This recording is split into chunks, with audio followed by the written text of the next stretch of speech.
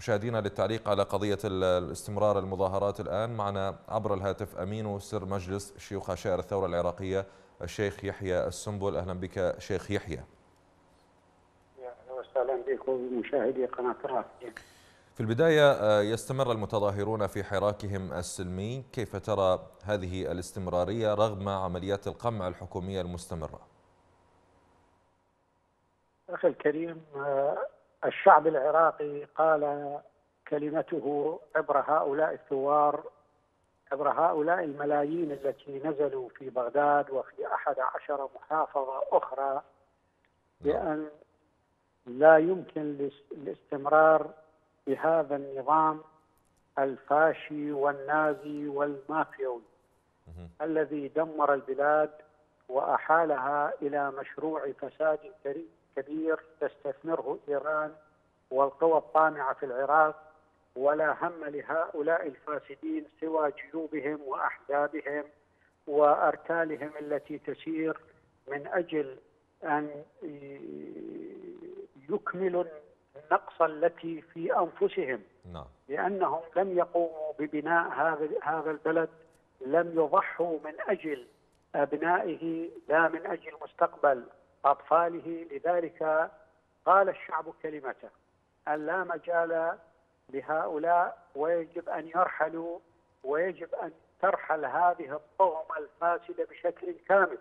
لذلك ليس أمام هذه الطغمة إلا استخدام ميليشياتها وأدواتها والاستعانة بالحرس الثوري الإيراني بضرب هؤلاء الثوار السلميين الذين لا يحملون سوى الأعلام شيخ يحيى اليوم نعم. في خطبة الجمعة عبد المهدي ممثل المرجعية يقول عبد المهدي الكربلائي يقول أو يعني اليوم حاول تدوير العملية السياسية كيف ترى موقف المرجعية الآن في هذه الخطبة بالتحديد الذي يحذر هذه الأحزاب من ذهاب الحكم إلى الآخرين الذين لم يسميهم وكذلك دعوته للحكومة بالإسراع بحل قضية ملف قانون الانتخابات وكذلك هيئة الانتخابات وغيرها يعني ألا, ألا تعد هذه محاولات للالتفاف على هذه الثورة وتمييع قضيتها الأساسية وهي إسقاط النظام؟ كنا نتمنى على خطيب المرجعية أن يطالب بحل مجلس النواب وبإحالة وبإحالتهم إلى المحاكم وبحل هذه الحكومة وتسليم مقدرات البلد إلى مجموعة من المستقلين الذين يمتلكون النزاهة والكفاءة لمرحلة معينة. ولكن عندما يختزل هذه الثورة باتجاه قانونين فإنه يعطي جرعة للحكومة بالاستمرار بفسادها في وقت آه لتماطل أمام الثوار آه لكسب بعض الوقت أو المراهنة على طول الوقت لربما ينسحب الثوار من ميادين الاعتصام ومن ميادين التظاهر. كان على المرجعية أن تقف إلى جانب الشعب بكل ما أطلقوه من من طلبات شرعية. تريد حماية العراق وتريد السيادة للعراق وتريد أن يكون القرار عراقيا. في السياسة والاقتصاد وفي كل النواحي الأخرى. ولكن مع الأسف أنه اليوم يريد أن يعطي نفسا آخر للحكومة للاستمرار في عملية الفساد وتشريع القوانين التي تطيل من عمرها لاستمرار هذا المشروع البائس. الذي أتى على الأخضر واليابس منذ 16 عام. شيخ يحيى الآن هذا خبر العاجل ورد أيضا قبل لحظات. اللجنة المنظمة لثورة تشرين تقول أن ثوار تشرين يؤكدون أن هذا الاختزال لم يطالب به أحد من المتظاهرين أو لم يطالب به المتظاهرون ومطالبهم واضحة وهي إسقاط النظام بكل أركانه. هذا العاجل من اللجنة المنظمة لثورة لمظاهرات ثورة تشرين هو للرد على ما ورد في خطبة ممثل المرجعية. يعني الآن هذا كلام واضح من المتظاهرين أنهم يرفضون هذا الاختزال لمطالبهم ببضع نقاط متعلقة إن كانت بقضية ملف الانتخابات أو مفوضية الانتخابات أو قانون الانتخابات الشعب الآن خرج لإسقاط هذا النظام. لماذا تصر المرجعية على بقائه بهذه الطريقة؟ هذا نوع من أنواع الإصرار كما يمكن أن يفهم. آه، هذه الخطبة لم تجرم الحكومة على آه، قمع المظاهرات لم تجرم القيادات الأمنية بل طالبت بتعديل قانون الانتخابات. وكان المشكلة في العراق مقتصرة أو مختصرة فقط بقضية الانتخابات. أخي الكريم المتظاهرين لم آه، يطالبوا بقوانين آه، فرعية أو قضايا جزئية. وإنما أصيبوا بالإحباط طوال 16 عاما من طغمة فاسدة لا تعمل سوى لنفسها. لذلك لا يمكن إعطاؤها أي مجال آخر بعد هذه الدماء الطاهرة دماء الأبرياء التي سالت ساحات الاعتصام والتظاهر. لذلك لا بد لهذه الطغمة إلا أن تغادر مواقعها وتخضع أيضا للمحاكمة فيما سرقت وقتلت. لذلك كان يجب على المرجعية أن تطالب هؤلاء بإحالة المجرمين إلى المحاكم بإحالة الفاسدين بدل أن تعطي صورة للشعب العراقي وللرأي العام العالمي نعم. بأنها هي الغطاء لهؤلاء الفاسدين في الاستمرار في فسادهم وإجرامهم بحق الشعب العراقي وبحق العراق بشكل عام. ذكرت قبل قليل شيخ يحيى أن العراقيون أصيبوا بالإحباط. ألا يعد ما تخرج به مرجعية النجف في خطب الجمعة؟ من آه، خطب وكلمات ترسل إلى الرأي العام الداخلي والخارجي.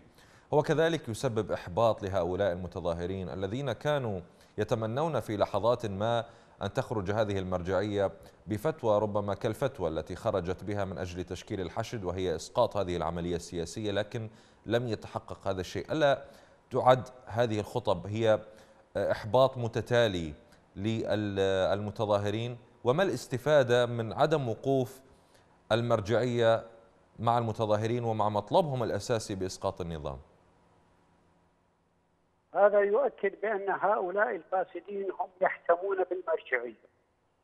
ولذلك المرجعية التي تعطيهم الفرصة تلو الأخرى للاستمرار بفسادهم سوف يجعلها لاحقا هي المتهمة أيضا بمشروع الفساد الكبير الذي يخوض فيه العراق ويتخبط فيه. المتظاهرون والثوار والشعب العراقي بشكل عام نعم هو في حالة إحباط من هؤلاء الذين لم يستطيعوا تغيير جزئية واحدة بسيطة في حياة العراقيين منذ ستة عشر عاما وكانوا يتمنون على المرجعية أن تقف موقفا مشرفا تصون دماءهم وحقوقهم وتعيد للعراق آه، اسمه آه، ودوره في في المنطقة من خلال قيادة سياسية حقيقية وليس من خلال عصابه عصابات فاسدة مافيوية تسعى من أجل أحزابها وميليشياتها وجعلت من العراق خرابا. لذلك فالمتظاهرين مهما شعروا بهذا الإحباط تجاه هذه لكن هذا يعتبر إسقاط لكل أعمدة الفساد التي تحاول أن تدور هذه الوجوه الفاسدة والعميلة لإيران لاستمرارها في مسلسل الحكم لاستنزاف ثروات العراق واستنزاف دماء أبناء شعبه لذلك الثوار هم أكثر تصميما ووعيا نعم. بما يجري سواء من خلال خطب المرجعيه أو غيرها. الآن هذا هذا الخبر العاجل أيضا شيخ يحيى إذا تسمح لي نقرأه الآن. آه، اللجنة المنظمة كذلك لمظاهرات ثورة تشرين آه، تقول المرجعية بخطابها تتستر على الفاسدين وتحاول حمايتهم من غضب الشارع الذي ذاق الويلات والمآسي بسبب حكمهم وفسادهم وتبعيتهم لإيران هذا كلام خطير جدا من اللجنة المنظمة آه، هل تعتقد أن هناك مرحلة أو نقطة معينة من القناعة وصلت إلى الشارع أن حتى المرجعية لم تعد في صف الشعب وهذا الكلام هو إثبات لوقوفها بصف الأحزاب الحاكمة والسلطة؟ أنا أقول يجب على المرجعية أن تأخذ هذا البيان بوعي كامل وبعيون مفتوحة. فأصبح العراق اليوم خندقين خندق الشعب. الذي يناضل من أجل العراق وسيادته وخندق الفاسدين من نواب ونهاب ووزراء نعم. فالمرجعيه عليها أن تعيد حساباتها أما أن تكون في خندق الشعب وأما أن تكون في خندق مشروع الفساد الكبير التي تمثله هذه الطغمة الفاسدة والمسياويه التي تتحكم بمقدرات البلد. برأيك أين تقف المرجعية الآن شيخ يحيى؟ إلى حد هذا الآن المتظاهرين قد أصيبوا بالإحباط منها. ولكن أنا أدعوها من خلال هذه القناة بأن تقف الموقف الحقيقي إذا أرادت. فأما أن تعلن بلسان آه، صريح أما أن تكون إلى جانب الفاسدين وأما أن تكون إلى جانب الشعب ليكون ذلك واضحا. أما هذا نعم. الالتفاف على تطلعات شعبنا وعلى مطالبهم من خلال الدعوة إلى سن هذا القانون وانشاء ذاك المشروع فهذا لا يعفي المرجعية من مسؤولياتها تجاه الشعب العراقي وتجاه ما يجري في ساحات التظاهر والاعتصام من قتل للأبرياء ومن تبديد للأموال ومن استمرار للفاسدين بمقدرات العراق. في سؤال الأخير لك شيخ يحيى عبد المهدي الكربلائي ممثل المرجعية حذر الأحزاب من زوال الحكم من بين أيديهم حتى لا يؤول إلى آخرين. من هم الآخرون الآن؟ ونحن نسمع من في السلطة الحاكمة الآن يتهم المتظاهرين الذين تبلغ أعمارهم وفق الحكومة من 15 عاما إلى 25 أنهم بعثية. من من يحذر عبد المهدي الكربلائي في كلمته من أن يؤول الحكم إلى آخرين؟ ما هذه التحذيرات وما هذه التهديدات؟ هذه التحذيرات تدل على أن الطرف الآخر هو الشعب العراقي بكل فئاته.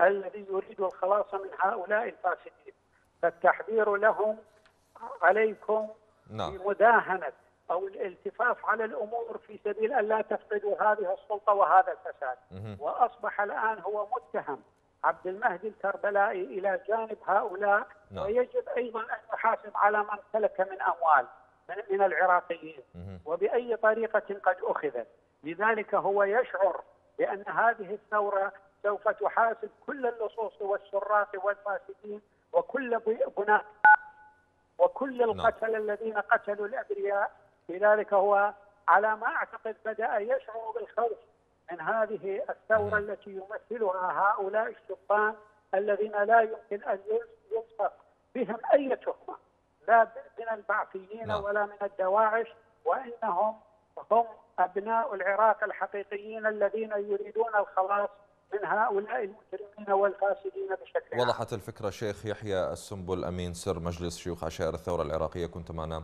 عبر الهاتف. شكرا لك.